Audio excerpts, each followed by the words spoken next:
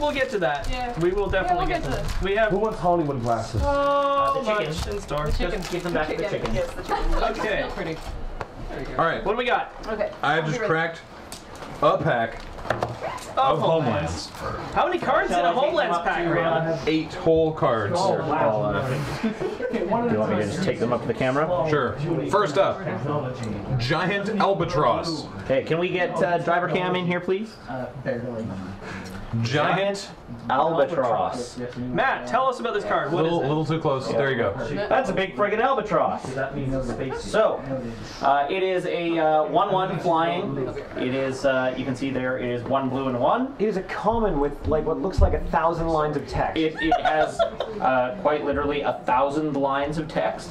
Uh, For one in a blue, wait, just keep holding it up to driver cam. I can read it from here. All right, you you hold. Strictly I'll- I'll than figure it out. There we go, I Stormcrow. got it. One in a blue, bury all creatures that damage giant albatross this turn. The controller of any of those creatures may pay two life to prevent that creature from being buried. Effects that prevent or redirect damage cannot be used to counter this loss of life. Use it only when giant albatross is put into the graveyard from play. What? Okay, so, So it's got really uh, terrible death touch. this is this is flavor police, right? This is Rime of the Ancient Mariner, more or less. Oh. Right? Because No one can see what they kill an albatross, and after they kill the albatross, oh, that's nice. Um, they they have to like wear it around their all. neck, and they're doomed to die. Oh. Yeah. So it's, that is that is an attempt at top-down design. Did they actually base Homelands off of? Uh... No. Oh, okay. No. Just just that one thing. Just that one thing. Well, Don't forget, there's also a card of the old man in the sea. Yeah, that one's pretty good. It's a tiny old man who is giving somebody a really hard time. All right, so next up we have Labyrinth Minotaur. Yeah. Mm, Minotaurs came back in the most recent set. That's uh, this guy right But here. this guy's in blue. He's three in a blue for a Minotaur. Wait, what? Uh, creatures Minotaur Labyrinth Minotaur is assigned to block. Do not untap during their controller's next untap step, and it is a one-four.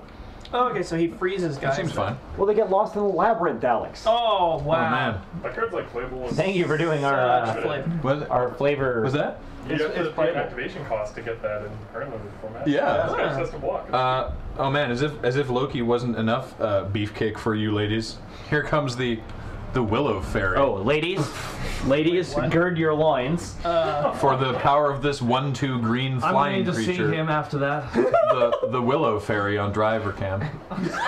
Oh, Whoa! Oh, look at them thighs. Oh my. Oh my, that is. So he's one in the green. He's a fairy. And that's it. He flies. One, two, flying. There's there's a there's For one in a green, that's actually not terrible. no. I'll just, Flying in green. I'll just leave you with that image. I mean, make it green Stormcrow? The variant art is No, actually rever- well, actually, yeah. it- very, but Oh but my flying god. in green is It not, is a green Stormcrow. Uh, Carapace, which is an aura and kind of creepy, that actually. uh, you sacrifice the. It gives the creature plus O plus two, and you can sacrifice the Carapace to regenerate the creature. The the Carapace is enchanted. Oh, so this is like like uh pre totem armor totem armor. Kinda. Yeah. It's like a look at the hands around her head. It's like she's being has a skeleton wrapped around her. That's creepy. yeah, it's super creepy. I Yeah. greatly enjoy magic, so Anaba Bodyguard is another Minotaur. I heard that is Abba bodyguard. Bodyguard. Stay away from Abba. bad. I should put the speech jammer on for this. It is a to the left, Matt. You can see in the. There you go. There we go. there you go. There we go. It's a two-three with first strike for four. Uh, no. No, Is it honey. playable? Is it? Not. Whoa, what? It's, more. Homelands. It's a lot more playable than this albatross. It was reprinted in ten. Samite Alchemist. You ready for a whole bunch of text again? Oh God. So this is zero two What the hell? for three and a white. Look at this picture. Hey, buddy. Oh. Thanks, engineering. That's uh, derpy. Sorry, I, I just couldn't take that. White, white, and tap. Prevent up to four damage to a creature you control. Tap that creature, and it doesn't untap during your next untap phase. So straight terrible. Yeah. Yeah. That's, that sounds pretty That's bad. just to use speech This, jammer this set's not. Ghost hounds. Oh man. Ghost hounds. Are they? Are, Speech jammer to read cards. I wonder if they're better than Thraben Purebloods.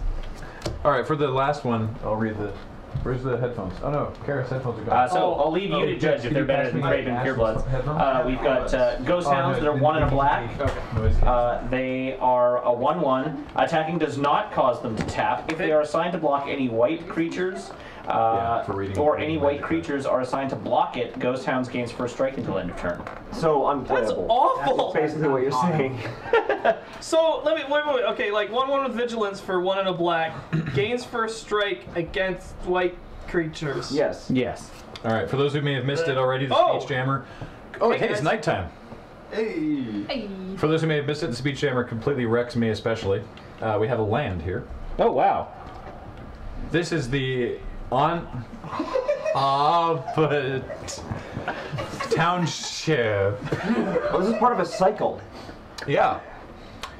Tap to add one colorless to your man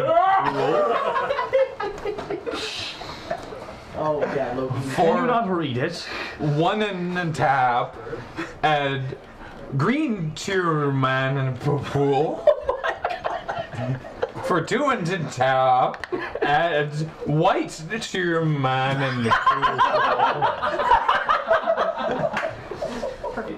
And for third, thir- no, for two and tap, add red to your mana pool.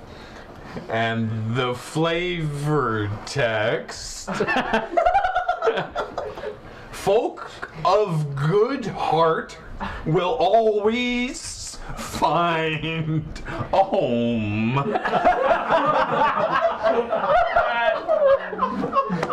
Wow. This is the best thing to come out of Dozen Seven. Uh, Magnificent. that seems fine. It's clunky. It's Oh, the- clunky it goes- fixing. The, the fact that they cost two Yeah. to filter, it's it's so terrible. It's mana give me gave me the same problem as um, uh, Molly was having trouble with the word elevator because it's elevator. yeah because it's the same sound repeated and so I say mana and then I think I'm still in the first half of the word so I'm saying manana. Phenomena. anyway, uh, this Guys. pack of homelands we will also throw in this box of M14s Sure, why not?